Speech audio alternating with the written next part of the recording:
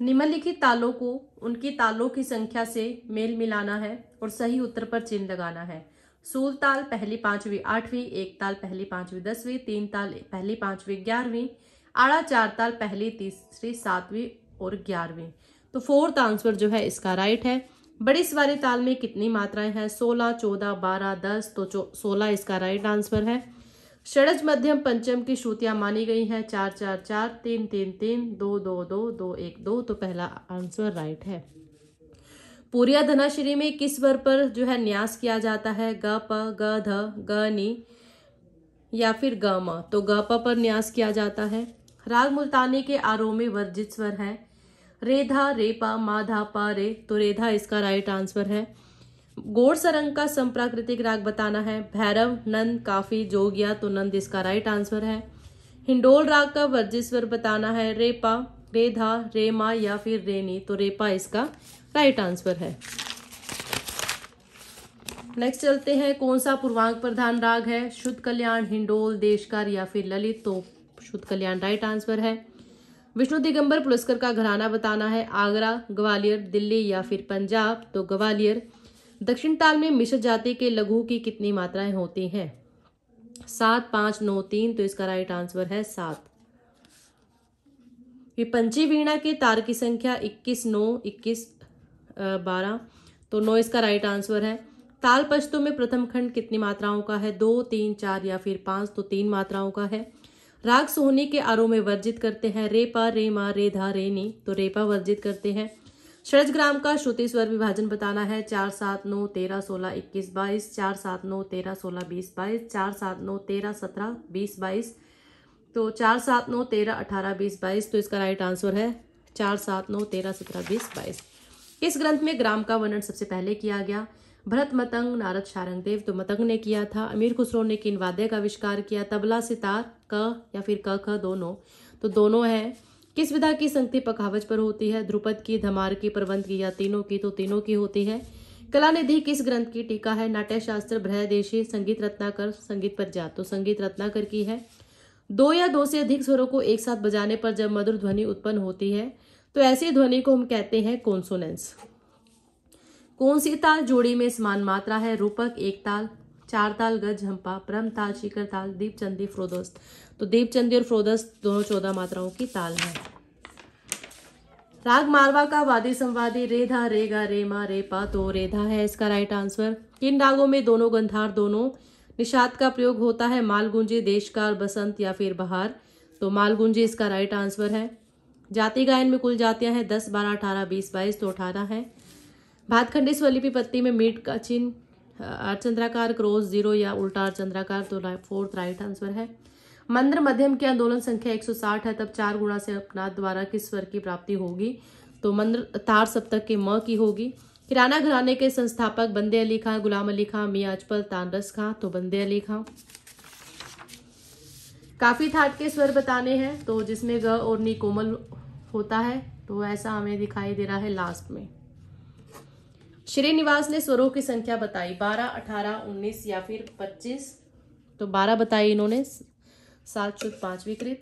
राग विबोध ग्रंथ किसने लिखा? श्रीनिवास राम माते कलिनाथ, सोमनाथ तो सोमनाथ ने लिखा। राग शुद्ध कल्याण का वादी संवादी है। ग, ध, ग, नी, म, प प, सा तो ग, ध इसका राइट आंसर है।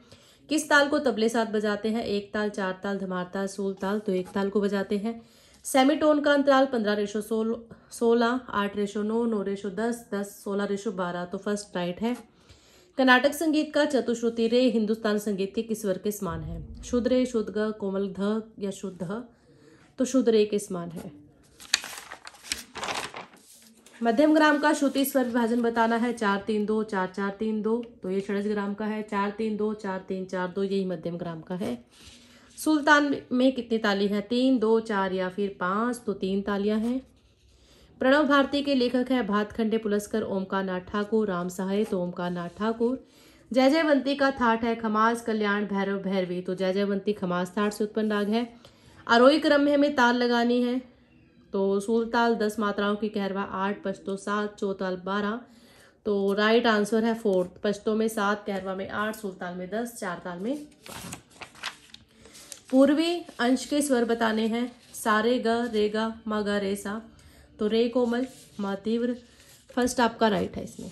पूर्या का वादी संवादी रेपा मासा नी सा। तो रेपा इसका राइट आंसर है। सोहनी राग का अंग पूर्वांग या फिर उत्तरांग है। तो पूर्वांग है इसका अंग पूर्या धनाश्री का संप्राकृतिक राग, बसंत, चंद्रकोश, पूरिया या फिर खमास। तो बसंत इसका राइट आंसर है। राग श्री का गायन समय बताना है। दिन का अंतिम पहर, दिन का तीसरा पहर, दिन का दूसरा पहर, दिन का चौथा पहर तो दिन का अंतिम पहर इसका राइट आंसर है। टागुर वाणी के प्रवर्तक कौन है? स्वामी हरिदास, श्रीचंद, तानसेन मोहन सिंह तो स्वामी हरिदास जी टागुर वाणी के जो है प्रवर्तक है। धमार को किस गीति के अंतर्गत रखा गया? भिन्ना, शुद्धा या फिर साधारणी? तो भिन्ना गीति के अंतर्गत रखा गया। त्राना गायकी का दूसरा नाम तिराना, तिल स्तोपगान या फिर तिल तो थर्ड है। यूनिसन इंटरवल का अंतराल बताना है। One ratio two, one ratio one one ratio four, one ratio three तो one ratio one right answer है। हिंदुस्तान संगीत पत्ती का सावरी थाट, कर्नाटक संगीत के किस थाट के समान है? खरहर, प्रिया, हनुमत, तोड़ी, शुभपंतु, वराली, नट भैरवी तो इसका राइट आंसर है नट भैरवी।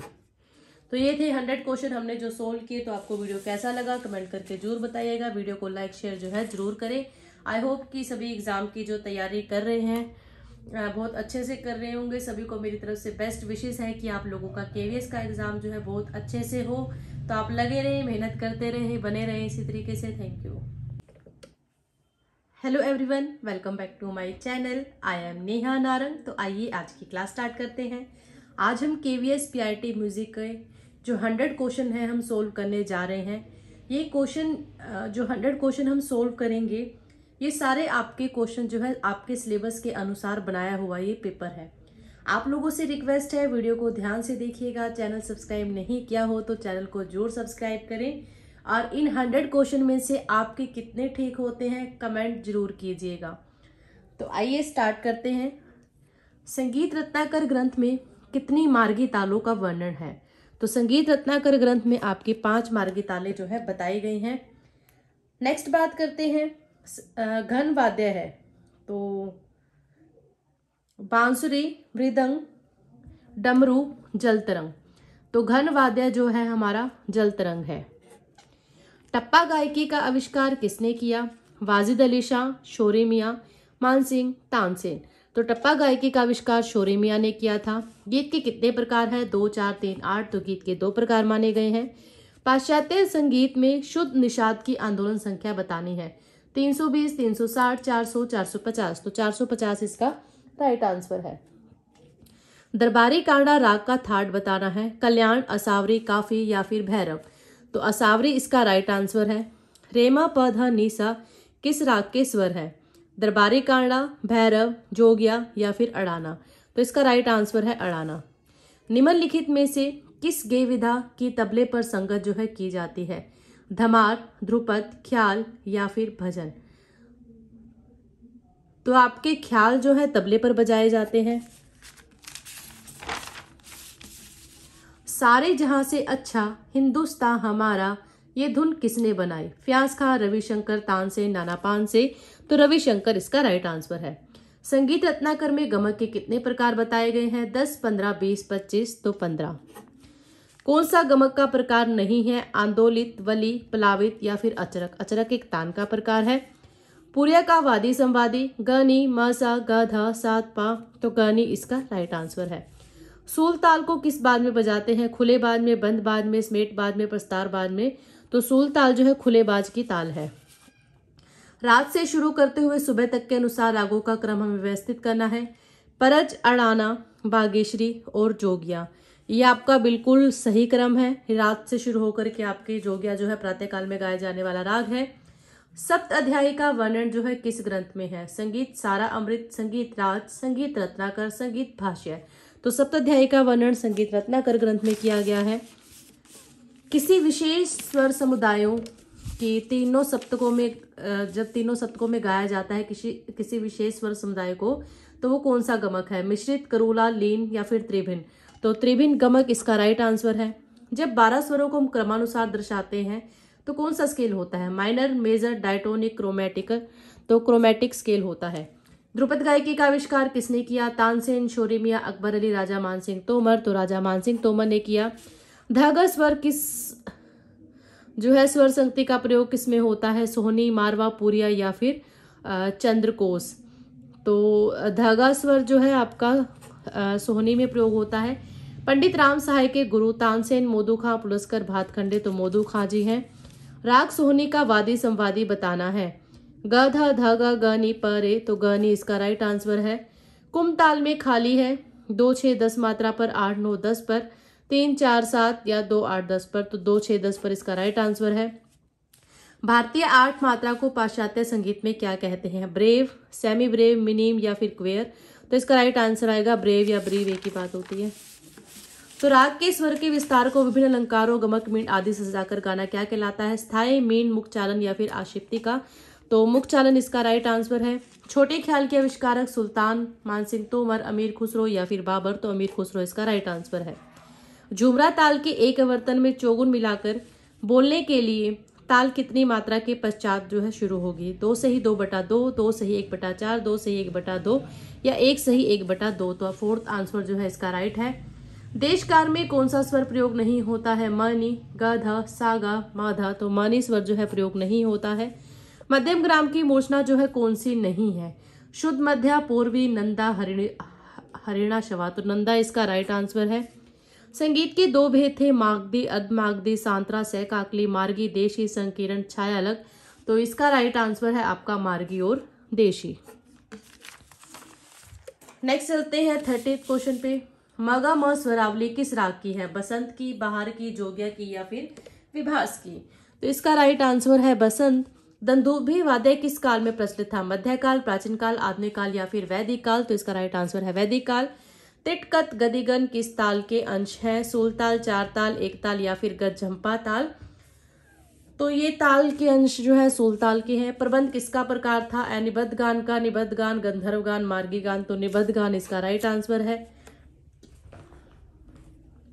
दक्षिणी स्वलिपि पत्ती में आधी मात्रा के लिए हम चिन्ह कौन सा दिखाते हैं? अर्चंद्राकार ज़ीरो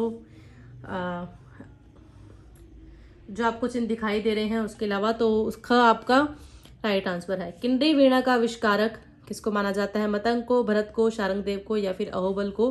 तो मतंग इसका राइट आंसर है। जब एक एक स्वर को इस प्रकार रखा जाए कि स्वर रचना जो है चित्त आकर्षक बन जाए, मन को अच्छी लगे तो वो मेलोडी कहलाती है, हारमोनी कहलाती है, परिणामी स्वर या डिस्कोड तो इसका राइट आंसर है मेलोडी। धमार ताल किस बाज का ताल है? स्मेट बाज प्रस्तार बाज बंद बाज खुला बाज तो खुला बाज राइट आंसर है। पारे स्वर संगति किस राग में प्रयोग होते हैं? श्री, कामोद, बागेश्वरी या फिर छाया नट तो कामोद में किया जाता है। रेगा रेसा स्वर समूह किस राग का है? तोड़ी का है, कल्याण का है, देश का है या फिर छाया नटका। तो इसका राइट आंसर है तोड़ी। नेक्स्ट है, राम सहाय का घराना कौन सा है? बनारस, पंजाब, दिल्ली या फिर फरूखाबाद? तो बनारस इसका राइट आंसर है।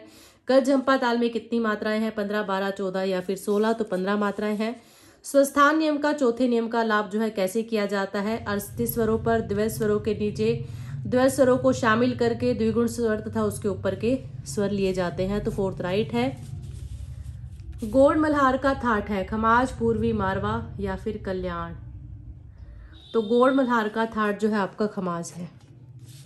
मार्गी संगीत का प्रयोग करते थे गंधर्व योगी, ऋषि सामान्य जन तो गंधर्व लोग करते थे, देवी देवता करते थे।